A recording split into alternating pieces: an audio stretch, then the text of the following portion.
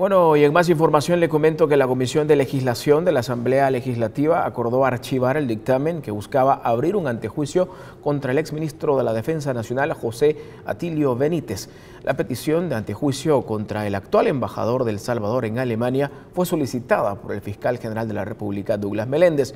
Sin embargo, con cinco votos, los diputados del FMLN y Gana decidieron mandar a archivo el caso que buscaba enjuiciar por delitos de estafa, actos arbitrarios, comercio ilegal y depósito de armas.